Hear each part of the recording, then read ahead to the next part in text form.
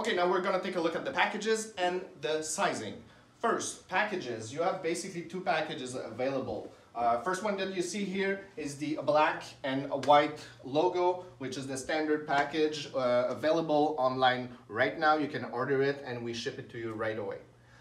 Package number two, two different options. Here, what we call it the, the sub graphic, which is absolutely by far our most popular one.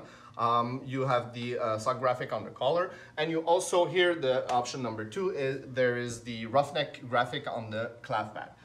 Both of these two uh, options can be customized with your own colors and you can also add your number or um, name on the clasp pad, have it imprinted. All of these neck guards come in different sizing and different colors.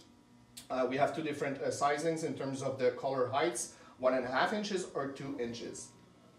Talking about sizing, let's take a look at how to measure your neck and make sure that you choose the right uh, size for your uh, neck guard you will need three simple things. One, measurement tape.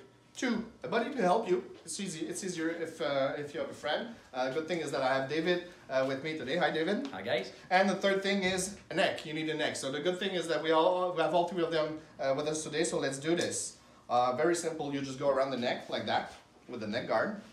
David is going to show you.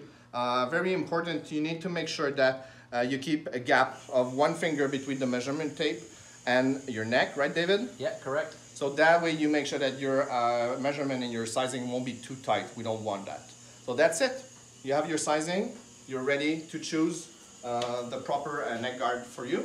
Uh, if you want to have all the information regarding our neck guards, just visit our tab, uh, Roughneck Protection, on our website, which is PassauHockey.com. Thank you, guys. Thanks.